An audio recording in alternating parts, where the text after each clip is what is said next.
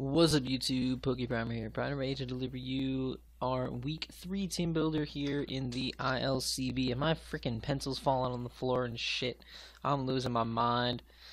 Um, this week we are taking on Chris and the Charlotte Salandits. Chris followed us over here to the ILCB, not surprising because a lot of our friends came over to the ILCB, which is dope, but um, we are taking on Chris this week, and uh, his team is kind of powerful. It seems actually really, really good because uh, what ended up happening is we had somebody join, but they didn't do anything with it. Like they just kind of were there.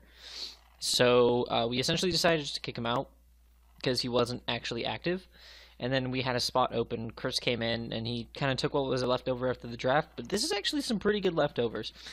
So he got uh, Mega Lopunny, Raikou, Victini, Sableye, Slurpuff, Tornadus Eye, uh, Virizion, Registeel, Seismitoad, Sliggoo, Drifblim, and Regirock. So, uh, looking at his team, um, he's definitely got um, a little bit of a hazard weak. He's very hazard weak. So if I can hazard stack him, it'd be really, really nice. Because the only thing he has to remove hazards is Defog Drifblim, and I have plenty of ways of beating Drifblim. So I'm not worried about Drifblim. So that's cool. I'll be really happy if I don't see Drifblim, and I try to. Ha- I'll, I'll be really happy if I don't see Drifblim. That'd be great. You know what? My my chair's being assholeish. I'm just gonna put the freaking arm things down, and we're gonna be comfortable that way. He also has a decently sized fairy weakness, and not too many things that really threaten Mega Altaria, which is great because uh, Mega Altaria is going to be our lead off for this week. We are going to be running 200 HP, 56 in defense with a bold nature, and max special defense on our beautiful Puff the Mega Altaria here. Uh, and we're going to pull up this calc because I do want to make sure that I have my reasoning down for why I did this. Yes. Okay, so we're going to put you to that. We're going to put you to that. Yes.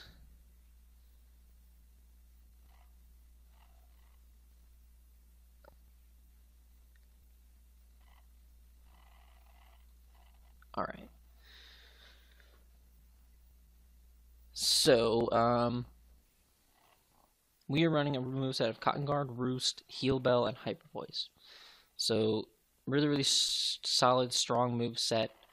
Um, Cotton Guard is here because with these defense EVs and whatnot, we Cotton Guard, we uh, can essentially avoid uh, being OHKO'd by Belly Drum Slurpuff. Belly Drum Slurpuff does a max 94% to us. So if we're at full HP, we get a Cotton Guard up. If that thing decides to Belly Drum, we're going to get 55 to 65% off on a Hyper Voice and then we'll be able to hit him again the following turn because uh, we will not die till we play rough. So that's great, and then we can potentially roost up on something else. Uh, overall, just the the cotton guard allows us to wall certain mons on the team. Uh, it allows us to completely shut down Mega Lopunny. It allows us to completely shut down a physical Victini. It allows us to completely annihilate uh, Virizion. Virizion can't touch us at that point. Registeel. Registeel, a standard Registeel set is is mind-bogglingly useless against us, which is crazy. If we have a Cotton Guard up, Ironhead is doing literally zero. If I can find the right spread that I was looking at. This one. Yes. Ironhead from a standard bulky Registeel is doing at most 16%. So we can definitely whittle that thing down. Plus, we can roost off any damage. So that'd be great. Having the max special defense is to allow us to take uh, potential poison coverage on things. Uh, Tornadus, Seismitoad, Sliggoo, uh, all learn things like uh, Sludge Wave. And uh, of course, Victini learns things like uh, Glaciate. So we can take those hits very, very nicely and uh, not really worry about them too much. Uh, having only Hyper Voice as our only attacking move is kind of an up and a down at the same time because while it does give us a really hard hitting move, uh, it does kind of uh, force us to. Um, it does kind of force us to. It, it kind of limits us to not being able, like, we can't hit um, Registeel hard at all. We can stall it down, but we can't hit Registeel hard. We can't hit Victini hard at all either, but um, we can we can work off of that. It's not that big of a deal. We have other things to take care of those mons. Uh, Heal Bell is here because I do want to keep my team status free as much as I can because I feel like that'll be very important in this matchup to keep my team healthy. So we're going to make sure to do that with our Mega Altaria. Next up, we have Moonduck, the Cresselia, holding the leftovers. Market Thunderwave, Calm Mind, Psyshock, and Moonblast. Again, just standard as set, minus the Moonlight. It's the only thing about this set that kind of worries me is not having Moonlight, but at the same time, it could be effective. So we'll see what happens. Standard spread, bold nature, everything like that. Thunderwave is here because I want a lot of things paralyzed. Mega Lopunny, we wall and we can paralyze it. We could paralyze Victini because Victini can't really hurt us too much. We can paralyze the Sableye, making it potentially get para-haxed on certain turns, which would be great. We could paralyze the Slurpuff. We can take a we can take a hit from Slurpuff. I'm 90% positive we take any hit from Slurpuff. Belly Drum Slurpuff versus Cresselia. My Moonduck. Put you at plus six. Yeah. There's no universe where um, there's no universe where Slurpuff can OHKO me with with any move. Play rough is its probably hardest hitting move, and it does at most 72%. So even a crit play rough, we we have a we have a it's like a 50-50 chance for us to live a crit play rough, and it's more so in our favor. So that's good to know. Like this thing just eats so many hits. We can paralyze anything and hopefully Parahax it enough times we can set up Calm Minds against pretty much every a lot of Pokemon on their team without any real issue, and eventually beat them, which would be really really cool. Uh, just this Cresselia is just meant here to be bulky and annoying, like Cresselia usually is. So hopefully that'll work out. Next up, we have Roar XD, the Aerodactyl. Uh, we're running a Choice Scarf Aerodactyl this week because of the Mega Lopunny. We're running just enough speed with a Jolly Nature to outspeed a max speed Timid Raikou, so that we can Earthquake that bitch. We have uh, max attack, of course, and then we threw the rest into HP, because why not? We're rocking Stone Edge, Earthquake, Aerial Ace, and Tailwind. Very interesting set. Uh, Stone Edge is just for stab. Stone Edge and Aerial Laser for stab. Stone Edge allows us to uh, hit the Victini, hit the Tornadus, hit the Drifblim. Uh, this is our kind of response. If I think Drifblim is going to go for a defog, we switch immediately into uh, Aerodactyl, and we click the Stone Edge button, and we're going to murder it. Uh, Earthquake is there for the Raikou as our way of beating the Raikou. If I know it's locked into something, I know it's down in range of us being able to kill it, which I believe, let me see what that range is. It's a standard Timid Raikou versus our Aerodactyl. RAR XD can kill it from 75%. So if it's anywhere below 75%, we know we can kill it with an Earthquake. And we can murder it that way. Uh, we have the Aerial Ace because of the Virizion. And the Mega Lopunny specifically. Uh, Mega Lopunny does not like Aerial Ace. Mega Lopunny uh, actually takes uh, 66 to 78% from an Aerial Ace. So if that thing's taken any prior damage at all, especially hazards damage, um, we can we can beat it.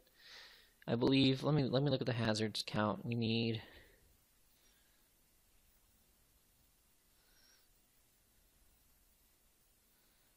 Uh, two layers of spikes and stealth rocks. We have a 12.5% chance to OHKO. And there's a 75% chance that we have three spikes and stealth rocks. So that's interesting to note. But uh, we also have the tailwind, which is really, really interesting. We have the tailwind because um, Tailwind is there so that we can, uh, if I can see a situation where I know I can get one of my other team members to sweep, which actually, now that I notice that, this is the only one of my team that's actually fast. that I brought this week, which is interesting. The only one that actually even has speed investments on it, which is cool. Funny to note. But um, I can set up a Tailwind, and then some of my slower Mons can then put in some work on their team. Slower Mons, such as Knuckles, the Sandslash. We are running 248 HP, max attack, adamant nature, and 8 into our Spadef. Knuckles is assault vested, which is which is cool. We're running rapid spin, earthquake, knockoff, and super fang.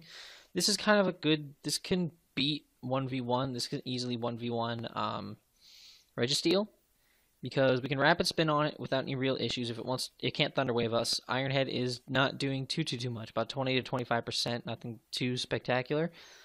And then we can knock off its left. We can knock off its leftovers, and we can we can super fang it and get it down really low to in range of earthquake being able to take it out, which is awesome. And then we can just win because we outspeed the the Registeel naturally, and I don't think he's going to run speed investments to try and outspeed my Sandslash because that's a lot of speed investment on a Registeel.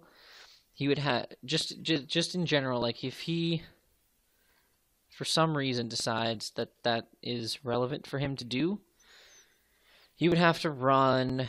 If he keeps it a careful nature, he would have to run 124 speed EVs on his Registeel to outspeed me.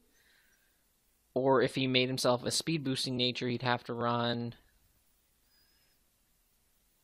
you have to run at least 64, which still is more, which is giving him away a lot of Registeel's potential bulk, which makes it so much easier for uh, Sandslash to beat it, which is good for me, not good for him. Super Fang I figured was a really, really good kind of tech move to have on here, because I don't think he's ever going to try to switch Sableye in on something that's definitely going to hit it a lot harder than other things will.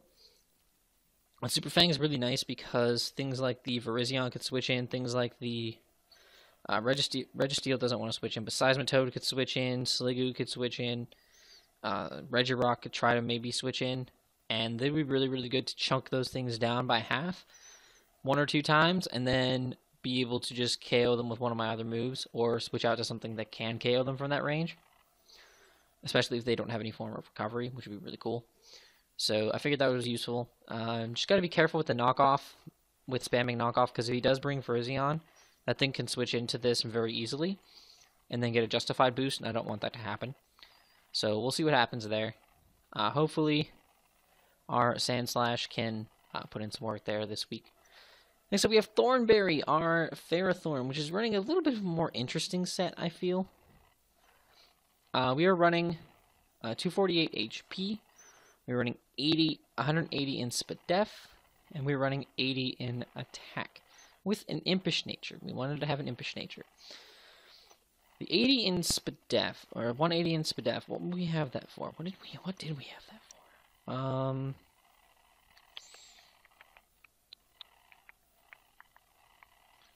I'm blanking so hard on what we put this in here for. I have no idea. I have no idea. Maybe it was... Um... Oh, wrong set. Hold on. I don't know exactly off the top of my head what it was in here for. Import it. Yep, okay. Ferrothorn. Thornberry. It's the wrong one. Go to something else, then go to Ferrothorn, Berry, yep, there we go. Alright, so against his team, we go to uh, maybe Raikou? Was it Raikou that I was thinking about? Rash, Rash Nature, Aura Sphere.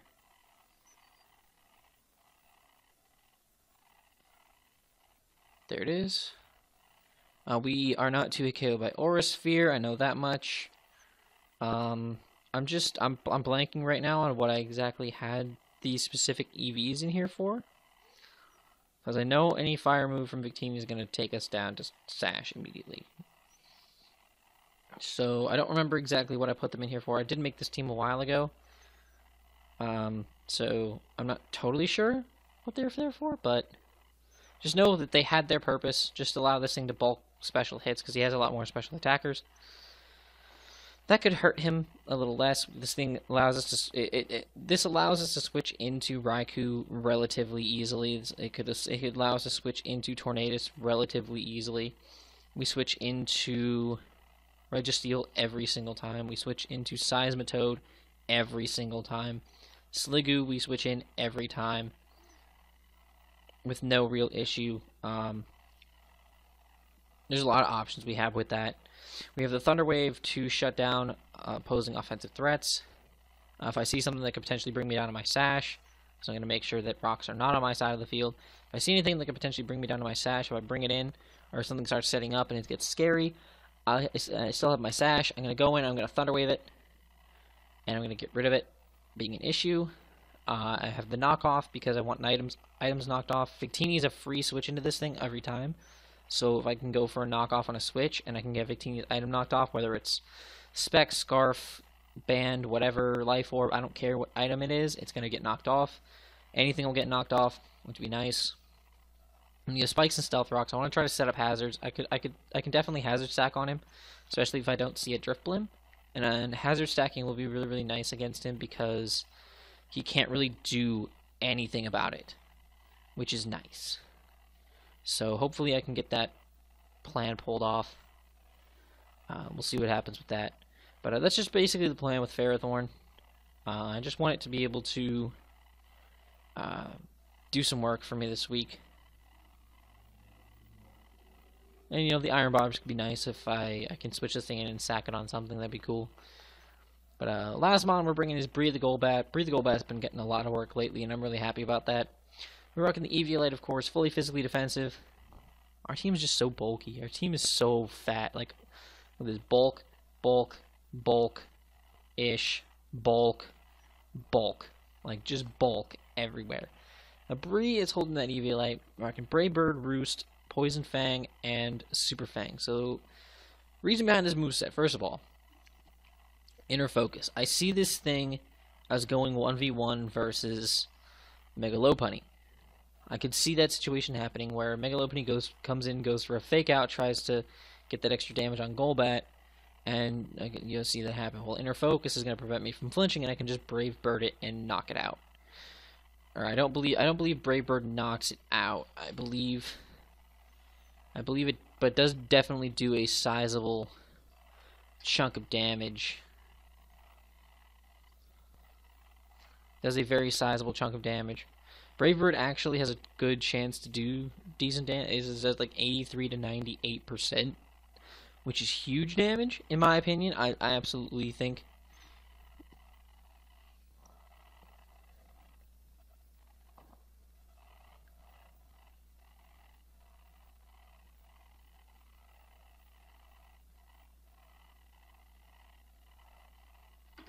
So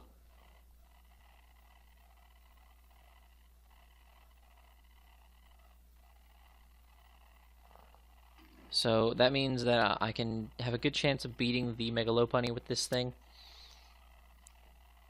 Because a fake out to us is only doing about 12 to 14%, which is not that big of a deal.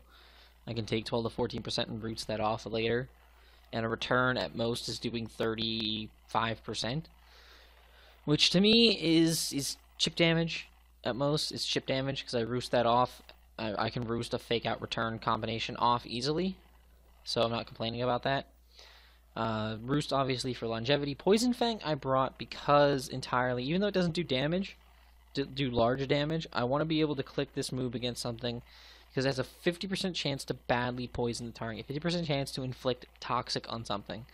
That's cool, and I, I, I like the ability to get a little bit of chip damage on something that might want to try to switch in as well as being able to toxic poison it. I think that'd be really, really cool. If I can get it to happen, that'd be great. And lastly, we're packing Super Fang. We are running double Super Fang this week because I don't have too many things that break Registeel very easily. I don't have too many things that break Virizion very easily.